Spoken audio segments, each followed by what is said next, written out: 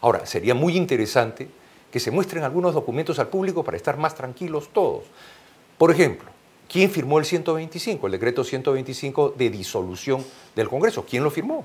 Si fue a sola firma o si fue todos los ministros. Sería bueno que se presente. Pero hasta donde la información que tengo yo no ha sido desmentida, que quien lo firma es el presidente y el señor premier recién nombrado, Vicente Ceballos. Y en ese momento no había Consejo de Ministros. Tal es así que recién han jurado el día de ayer y recién hoy se han publicado el perano la renuncia de los señores. Mira, para que entienda la gente, hay una figura que se llama la crisis total. La crisis total de gabinete es cuando renuncia el Premier. Cuando renuncia el Premier, todo el mundo está obligado a renunciar. Segundo, las actas de Consejo de Ministros tienen que ser firmadas por todos los presentes. Si no, el decreto supremo no surte efecto.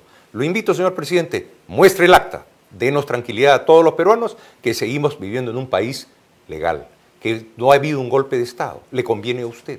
No vaya a dejar pasar esta oportunidad. Muestre el documento.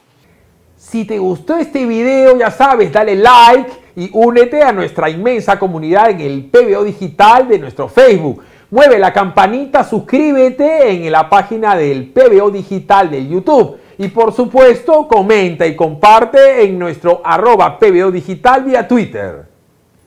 CompuPalas es el mayor centro tecnológico del Perú y está a dos cuadras del óvalo de Miraflores a la altura de la cuadra 53 de la avenida Petit Amplísimos e iluminados locales para que compren la tecnología a su alcance. Computadoras, Macs, iPhones, iPads, Androids, Samsung, servicio técnico y todas las seguridades están en el centro de Miraflores con CompuPal.